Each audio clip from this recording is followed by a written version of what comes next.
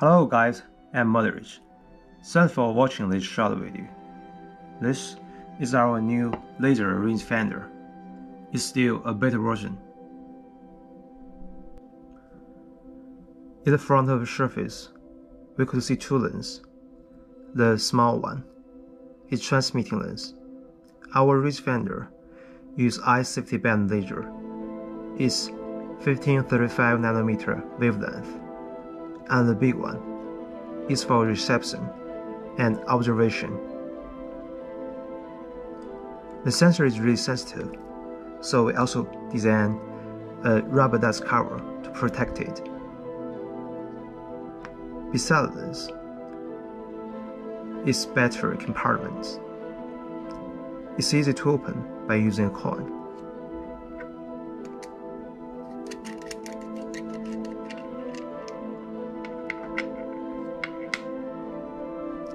We use double CR123A. The brand is Panasonic. The full battery could support 5000 times measure. In the backside, it's ocular,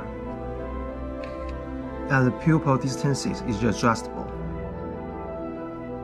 This ring is for focal position. We're looking for long distance target if the target is not very clear, we could the ring to find the best focal position. In the upper side, we could see the logo and two buttons only. It's really easy to operate in, and we could measure the distances and angles really quickly. In the bottom side, we could see two connectors. This connector is connected with tripod and the other one is for data transmitting, and we can also check the SN number.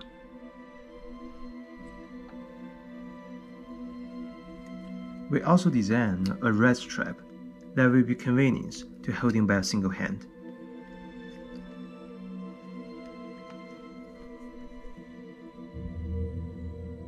Let's summarize the advantages.